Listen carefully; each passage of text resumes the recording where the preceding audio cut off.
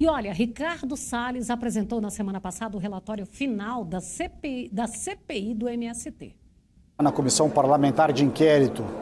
o relatório final para apreciação dos colegas da CPI do MST.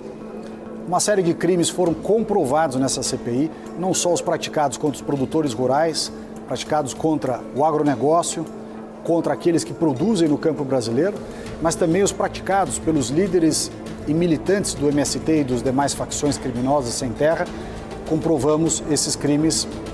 é, contra os próprios integrantes dessa, dessas facções. Então, são duas faces da criminalidade: contra o agro, contra os produtores e contra as pessoas humildes, que são levadas a participar desses grupos, são enganadas e acabam servindo de bucha de canhão, de massa de manobra para todos os crimes que são ali praticados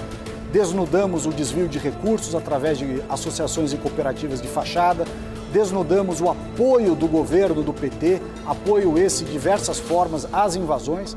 o alinhamento desses grupos com Farc, com Cuba, com China, com Venezuela, enfim, está comprovado pelo relatório da CPI o ambiente criminoso que permeia esse tema de invasões de terra no Brasil. Infelizmente, nós vivemos num momento em que o país está na mão da esquerda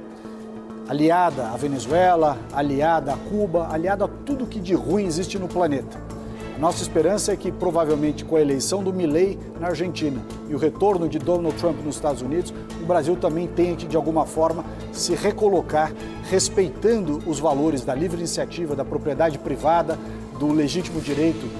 à, à legítima defesa, enfim, uma série de outros pressupostos que estavam fazendo com que o Brasil eh, caminhasse durante o governo do presidente Bolsonaro para a prosperidade. Mas esse é o nosso trabalho aqui na Câmara dos Deputados. Deputados aqui, os senadores lá do outro lado, lá no Senado Federal, no tapete azul, nós estamos fazendo o que é possível para segurar essa onda esquerdista que vem para cima do nosso país nas mãos do PT.